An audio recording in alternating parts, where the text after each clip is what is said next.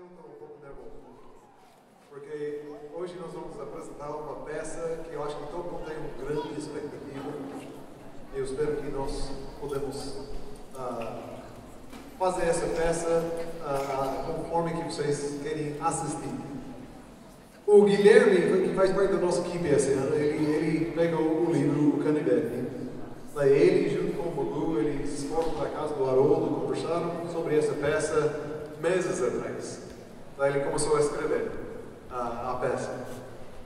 O problema é que tem tantas coisas que a gente poderia falar sobre esse casal que está aqui. Ah, que a peça ia ser 5, 6 horas. Então tem que cortar um pouco, né? Da vida deles. Mas o que a gente queria mostrar sobre esse casal é a importância do compromisso de Deus, com Deus que eles têm. Ah, é, um, é um exemplo grande para nossas vidas. Ah, eu acho que todo mundo já sabe isso. Ah, para mim é honra poder dizer que eu conheço esse, esse casal. Quando eles vão cada ano, até hoje, acho que faz duas semanas atrás, ele estava lá em Curitiba. Ele deu, deu aulas de 1 Coríntios para os alunos, mais uma vez. Ah, não sei quantos, acho que todo ano ele tem feito isso. E cada ano ele ainda volta lá para dar aulas para os alunos. O desejo é incrível ah, no coração deles para servir. Ah, acho que foi o ano passado. Nós temos uma calçada, se você não conhece o, o campamento lá em Curitiba, temos uma, um calçado que vai da capela até o refeitório, uns 100 metros. Tinha folhas, tem tudo lá. A dona Débora não tem nada para fazer. A gente viu ela lá com vassoura varrendo a calçada. Gente, para mim, não existe um casal como, esse. E nós queria honrar eles com essa peça. Espero que nós conseguimos fazer isso. Mas o desejo do nosso coração com essa peça não é para fazer um show, não é para impressionar ninguém como grupo me pode fazer uma peça, nada disso.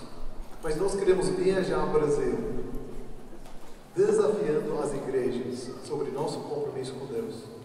Pense em sua vida. Se Deus chamasse você agora, larga tudo, vai para o campo. Você teria coragem de fazer isso?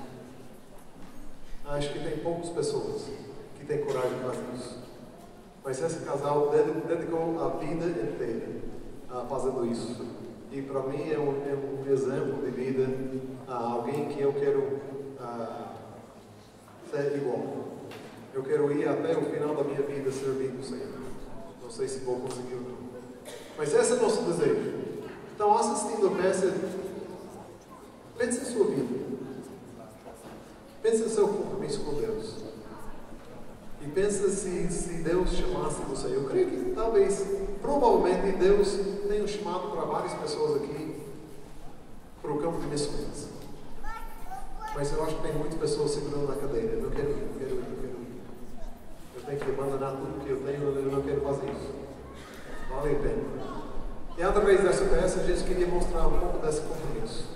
Queria desafiar pessoas para pensar nisso. Então pense nisso, assistindo essa peça hoje. É um grande prazer para a gente poder fazer isso, apresentar essa peça. Ah, e espero que Deus toque seu coração, que Ele pode falar ah, através das músicas, do teatro, pode falar para seu coração, para realmente levar seu compromisso com Deus a sério. Eu esqueci uma coisa que eu precisava falar, os alunos pediram para eu falar sobre camisetas de.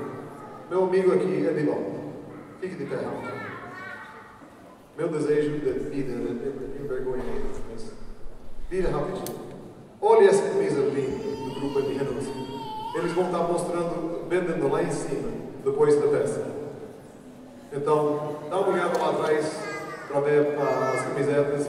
Haroldo e Débora acabou de ficar de pé. Eu ia pedir para vocês também, mas já, já que vocês fizeram, todo mundo conhece eles, mas é um grande honra, um grande prazer para a gente apresentar essa peça. Então vou parar de falar porque ninguém veio aqui para me ouvir falar. Então, como vocês, Grupo M 2017, com o nome Renúncia, apresentando uma incrível jornada.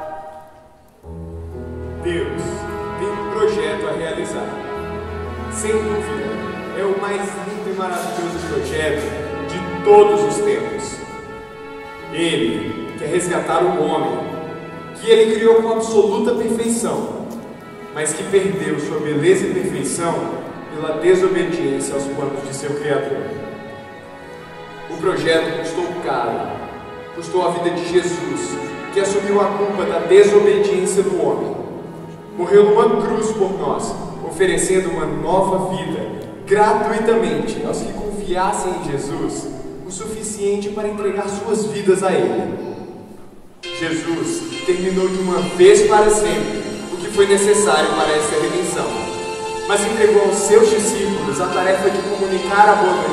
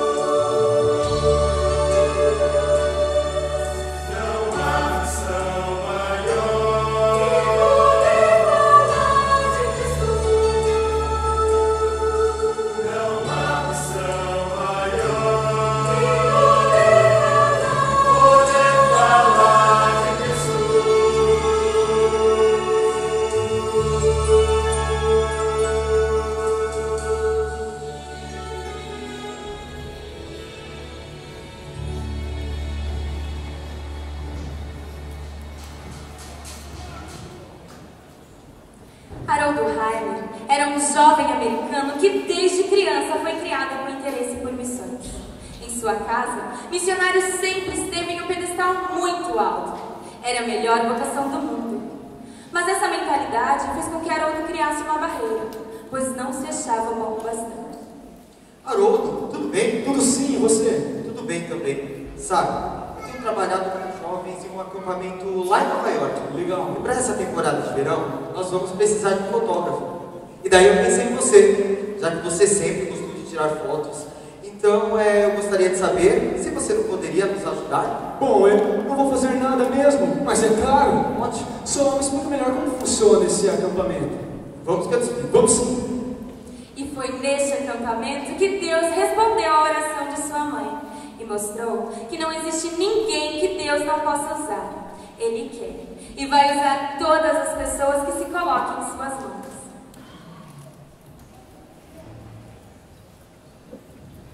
Que semana incrível! Deus tem falado tanto comigo. É a sua primeira vez aqui? Sim, e pode ter certeza que não será a última. Vamos que o culto da fogueira já vai começar. Nossa, eu estou tão animada! Haroldo, onde você estava? O culto já vai começar. Eu sei, mas eu tenho tantas fotos para revelar dessa semana ainda. Como assim, Haroldo? Você sabe das regras do acampamento. Nenhum dos equipantes pode faltar as programações, principalmente nessa. Pensei que ninguém fosse sentir minha falta. Aham, que o culto já começou.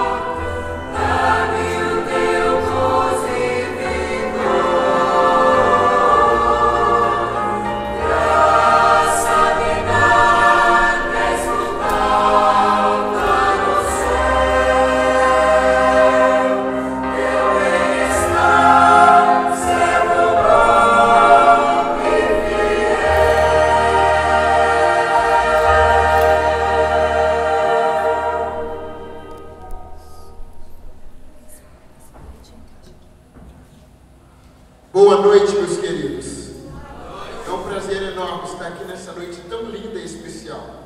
Finalmente, o culto da fogueira. Depois de uma semana intensa, espero poder compartilhar um pouco do que Deus tem me permitido viver como missionário lá na Amazônia, no Brasil. São imensas as dificuldades e desafios do trabalho com os índios. Muitas tribos nunca tiveram contato com o Evangelho de Cristo. E a Bíblia diz, em Romanos, capítulo 10, a partir do versículo 13: Para aqueles que precisam de ajuda, está entre Gênesis e Apocalipse. Porque todo aquele que invocar o nome do Senhor será salvo. Como, pois, invocarão naquele em quem não creram?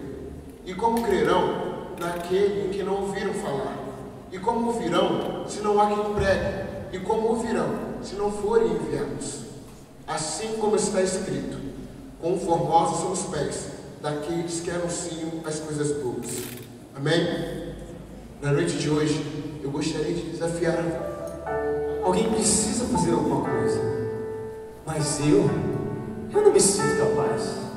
Aprendi que somente pessoas muito especiais tornam-se missionárias. E eu? O que tenho eu de especial?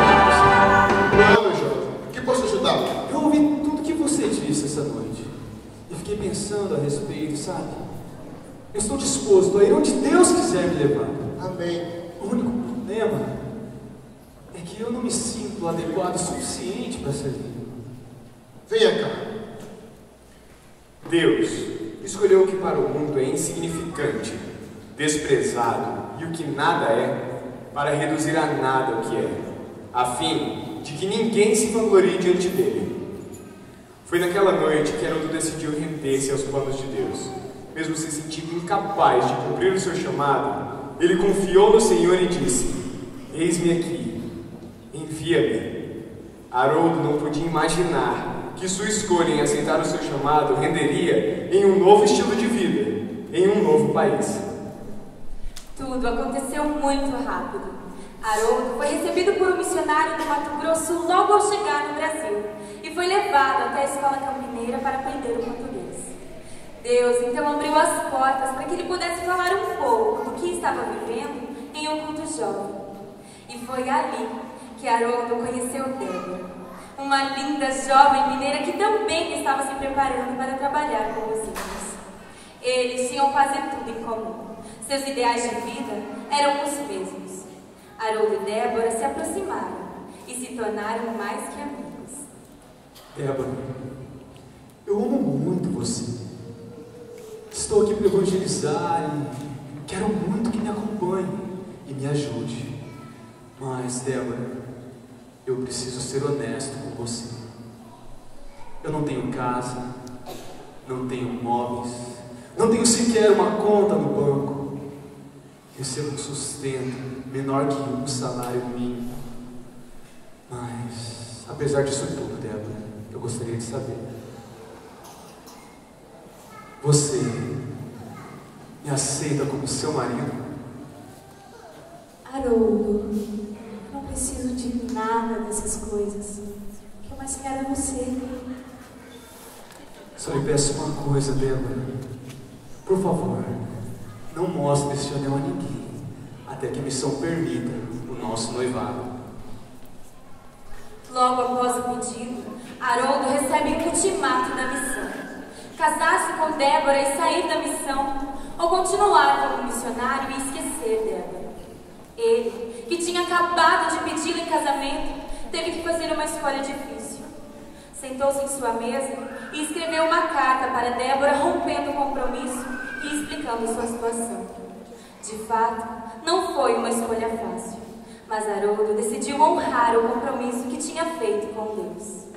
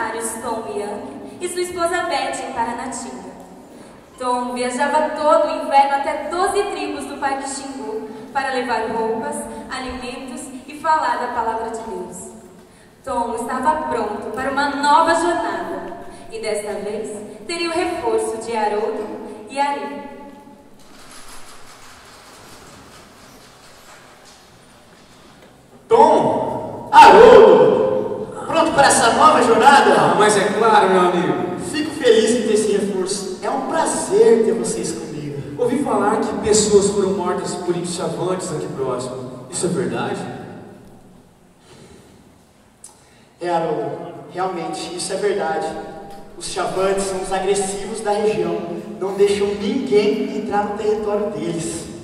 Os mantimentos estão encaixotados. Obrigado, ali. Dessa vez, pegaremos outra fluente. Da última vez que eu fui pelo Rio Preservo, tive bastante dificuldade com as cachoeiras. Confiamos em você. Que Deus nos abençoe nessa incrível jornada.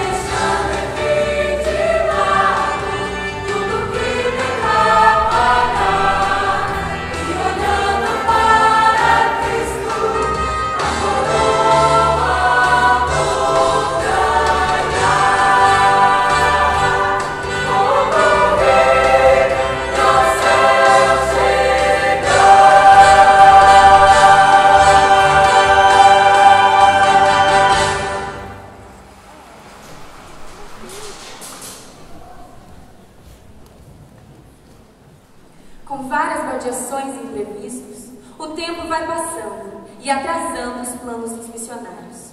Com quase duas semanas de viagem, eles ainda estão longe do Paquistão, mas já começam a notar rastros da presença de índios, o que deixa o grupo apreensivo. Olhem, olhem! Estão vendo? Estão desconfiados que seja rastro de índios. Bom, bom, vamos parar o barco. Aí, vamos entrar na mata e ver o que é. Tome cuidado.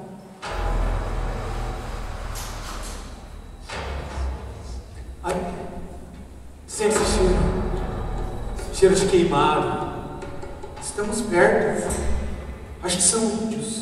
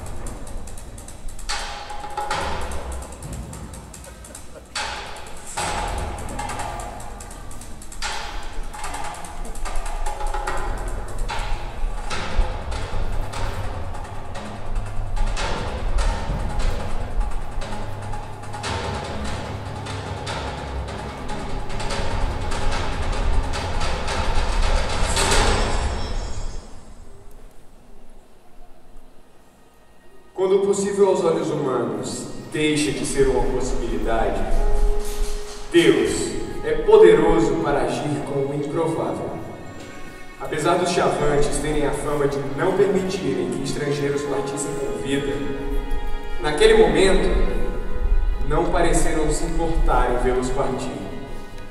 Em tudo isso, Deus mostra que, independente das circunstâncias ou limitações, Ele continuará sendo Deus e o Senhor de toda limitação.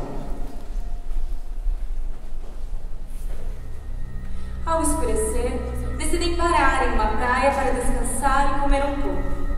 Logo após se alimentarem, uma chuva de flechas é disparada, mas felizmente ninguém é ferido. Decidem então esperar o primeiro raio de sol para prosseguirem. Os índios conheciam aquela região muito melhor que os missionários e continuaram seguindo eles. Assim que as canoas ficavam perto das margens, flechas saíam do mato fechado. É suicídio continuarmos. Morreremos por causa das flechas. Não! Se ficarmos aqui sem comida, também será nosso fim. Não temos opções. Precisamos continuar. É o fim. Minha carreira como missionário foi bem curta. Cheguei aqui há algumas semanas e não sairei vivo desta. Os índios conhecem o território. É uma questão de tempo. Mas eu não me importo morrer. O único problema é que vou receber um galardão um pouco menor, porque fiz pouco. No dia seguinte, eles percebem que o rio começaria a estreitar logo adiante, ficando com mata fechada dos dois lados. Mesmo com este cenário, uma coisa estava a favor. Conforme as margens afinavam, a correnteza ficava mais forte e eles ganhariam velocidade. Assim que as canoas chegavam perto das margens, rajadas de flechas são disparadas. As águas, cada vez mais fortes, empurram as canoas com violência. A maioria pensa ser o fim. Quando nossas forças acabam, quando a situação aperta, quando não há mais nada que possamos fazer, quando precisamos de Sua intervenção ou quando precisamos de um milagre, algo lindo acontece. Deus intervém com o sobrenatural. De repente, um vento sopra forte continuamente e as flechas perdem a mira. E em poucos minutos eles permanecem vivos e distantes da emboscada. Que diremos, pois, diante destas coisas? Se Deus é por nós, quem será contra nós? Se Deus é por nós, quem irá ser contra? Quem pode separar-nos do amor de Deus?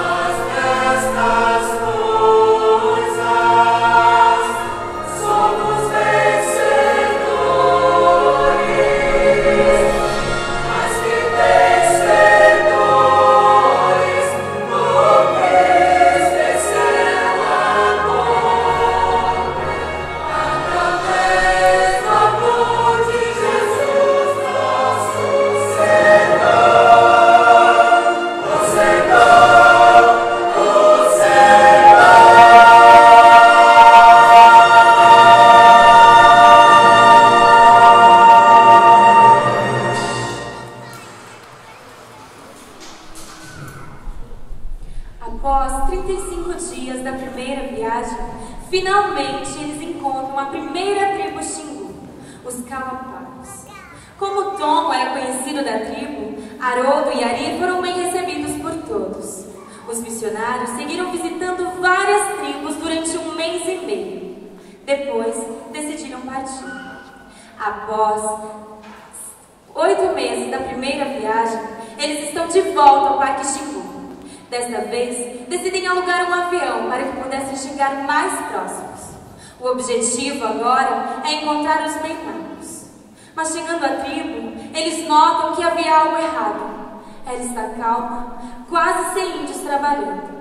Decidem então visitar algumas casas e descobrem que se tratava de uma epidemia de sarampo. Ari, nós temos que ajudá-los. Senão é capaz deles deixarem de existir. Pessoas estão morrendo e não há quem pesque para alimentá-los. Já sei. Vamos fazer o seguinte: eu busco ajuda médica. Ótimo. Eu fico aqui e tento mantê-los vivos. Vai com Deus, meu irmão. Deus te abençoe. Conforme o tempo foi passando, todos os adultos ficaram doentes e apenas duas crianças não. Haroldo e as duas crianças trabalharam arduamente para não os deixar morrer. Mesmo com todo o trabalho que Haroldo teve nesses 21 dias que Ari esteve fora, eles tiveram que enterrar 48 índios.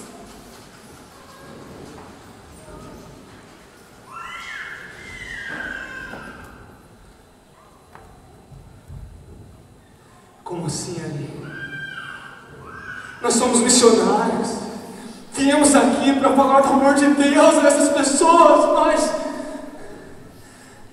chegamos muito tarde. Agora elas morreram, sem ter a chance de conhecer a Jesus Cristo.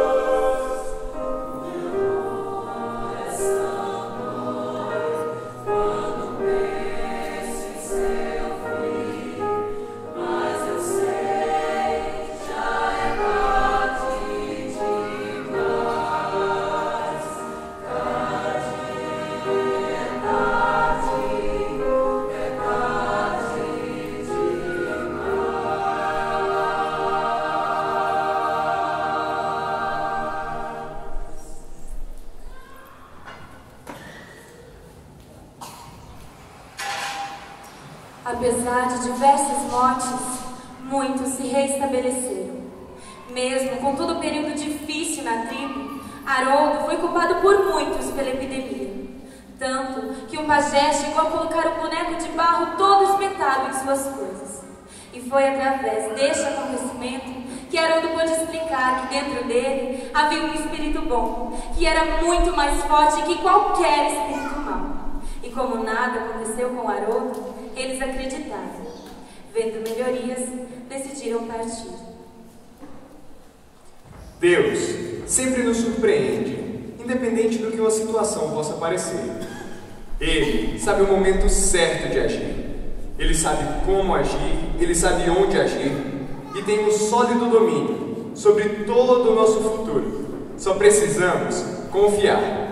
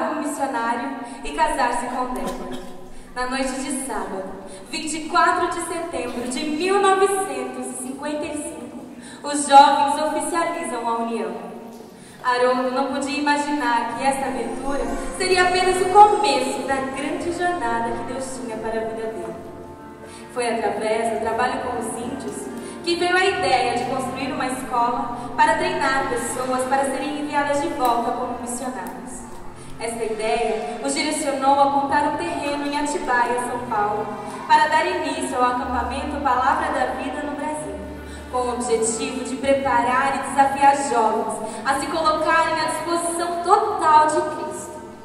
Haroldo continua até hoje envolvido no trabalho com os índios. Deus escolheu o que para o mundo é insignificante, desprezado e o que nada é, para reduzir a nada que é, a fim de que ninguém se vanglorie diante dele. Realmente, não podemos imaginar os planos de Deus para nossas vidas quando nos rendemos a Ele. Não existe ninguém que Deus não possa usar. Ele quer e vai usar todas as pessoas que se coloquem em Suas mãos. E você, está disposto a viver a incrível jornada que Deus tem para a sua vida?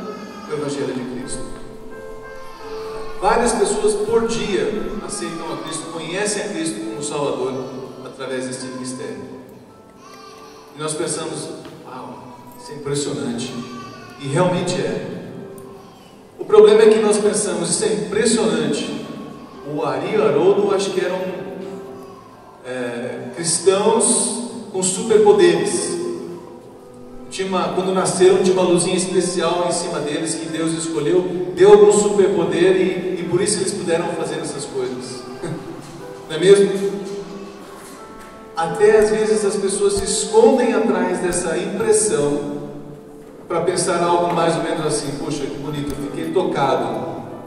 Que bom que eles puderam fazer isso, mas Deus jamais poderia me usar para fazer algo do tipo, porque eu não tenho esses superpoderes. Não sei se vocês pegaram, mas naquele culto da fogueira em que Haroldo tocado pelo Senhor, se entregou ao Senhor para fazer o que ele quisesse. Fez a diferença foi aquele, aquele missionário dizer para ele, Haroldo, olha o que, o que o apóstolo Paulo diz aqui em 1 Coríntios. Deus não escolheu muitos nobres, de nobre nascimento, nem muitos poderosos, nem muitos sábios. Pelo contrário, ele escolheu os fracos, os loucos, porque lá no finalzinho ele diz: para que ninguém se vanglorie a glória do Senhor. O livro Canivete, que conta essa história, ah, tem esse nome porque um canivete, um simples canivete, foi usado nas mãos de uma pessoa muito habilidosa para fazer uma obra de arte maravilhosa em madeira. E não é o canivete em si que é tão especial um canivete comum que faz a diferença é que ele está nas mãos de alguém que entende, que sabe. Meus queridos, nessa noite a ideia não é exaltar uma pessoa, um casal, ou dois ou três casais. A ideia desse musical é de que fique bem claro cada um de nós, cada um de nós, quando entregues nas mãos do Mestre, rendidos como esses dois jovens, esses três jovens estavam. Não tem limites ao que o Senhor pode fazer. Em Romanos nós lemos também que Deus diz: Rogo-vos, pois irmãos, pelas misericórdias do Senhor, que apresentais os nossos corpos como sacrifício vivo, santo e agradável a Deus. Esse é o vosso culto racional. Essa é a coisa mais inteligente que um ser humano pode fazer entregar a sua vida ao Senhor. E eu fico tocado, porque eu conheci nem o casal, está aqui. Convivi com eles muitos anos. Eu sei que eles são pecadores também.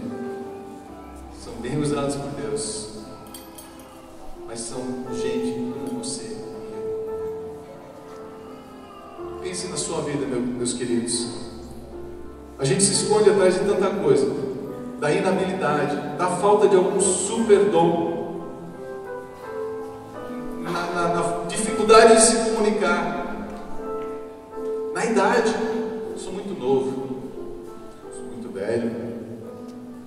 estou no meio de uma carreira. Como é que eu poderia dar as costas para tudo para servir o Senhor? Enfim, as desculpas são muitas. E eu concordo é bem provável que todos aqui não vão ser usados por Deus para construir um grande ministério com a palavra vida. Mas Deus tem uma tarefa especial para cada um de nós aqui. E é tão importante quanto é o que, eu vou fazer. Qual vai ser a minha resposta? Eu vou entregar a minha vida para ser usado nas mãos do Mestre como aquele canivete?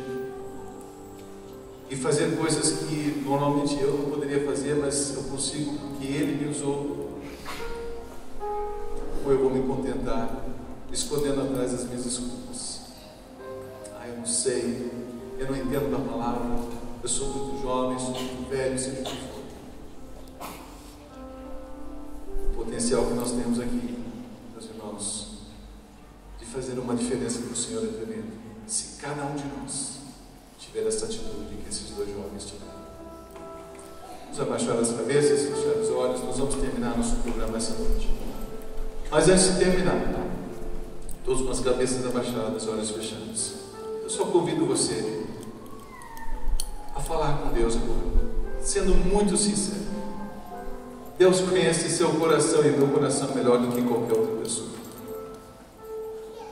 Se você tem fugido do Senhor, ou mesmo talvez você foi tocado por essa história e percebeu que você pode fazer muito mais. Você não tem obedecido, não tem se entregado totalmente ao Senhor. Fale com Ele agora. Fale com Ele. Confesse isso. Diga, Senhor, eu não acho que eu sou grande coisa. Mas se como o Senhor usou ali Haroldo e Tomian para fazer grandes coisas, se o Senhor pode me usar para fazer, não precisa nem ser grandes coisas, alguma coisa do Senhor, eu estou à sua disposição. Eu estou entregando a minha vida para ser usado, estou me rendendo ao Senhor. Mas fale entendendo que se você está orando assim com sinceridade, Ele vai te levar a sério. E vai abrir as portas. Você vai ter que trabalhar. Converse com Deus. Entregue sua vida totalmente a Ele para ser usado por Ele. Tenho certeza que a palavra nos diz, Ele tem uma tarefa especial para você. Palavra nos diz que nós somos salvos pela graça, mediante a fé. Isso é algo que Deus faz, não tem nenhum mérito nosso, não nas nossas obras, para que a gente não tome glória. E logo na seguida, no próximo versículo, a palavra de Deus diz que nós somos feitura dele, obras de arte de Deus, criados em Cristo Jesus para as boas obras, as quais ele de antemão preparou, para que nós andássemos essas boas obras. Deus tem um plano muito específico, muito especial para cada um de vocês. Coloque-se nas mãos dele hoje. Renda-se, independente da sua idade, independente da sua habilidade, independente de qualquer limitação que você acha que tem. Em Deus, você pode, você precisa obedecer a direção que Ele te dá para andar nas boas obras que Ele preparou Amado Pai, nessa noite, como foi bom lembrar esses eventos que já, já aconteceram há dezenas de anos atrás e cujo fruto ainda hoje estamos desfrutando. O impacto dessas vidas entregues ao Senhor continua e só aumenta. A Ti toda honra e toda glória, Senhor. Agora, Pai querido, eu peço por mim, minha vida, que a cada dia eu possa me render ao Senhor, me submeter à Sua vontade entendendo que as minhas limitações não são as suas limitações, porque é o Senhor que vai fazer. Como o Senhor diz na Sua palavra, fiel que vos chamou, o qual também o fará. Pai, eu peço para os meus irmãos aqui, que cada um de nós possa entender essa verdade tão profunda, possamos deixar de lado as nossas desculpas e dizer para o Senhor, como esses jovens disseram anos atrás: Senhor, eis-me, estou à sua disposição. Seja para alcançar uma tribo perdida no Amazonas, seja para alcançar o meu vizinho, meu chefe, meu pai, meu primo, seja for. Eu quero fazer a tua vontade, custe o que custar. Eis aqui a minha vida. Me usa. Em nome de Jesus. Pai, essa é a nossa oração. Eu peço que ninguém saia daqui sem ser tocado, movido em coração pelo Teu Espírito, em nome de Jesus. Amém. Obrigado a todos que compareceram. Realmente é uma alegria, um prazer ter todos.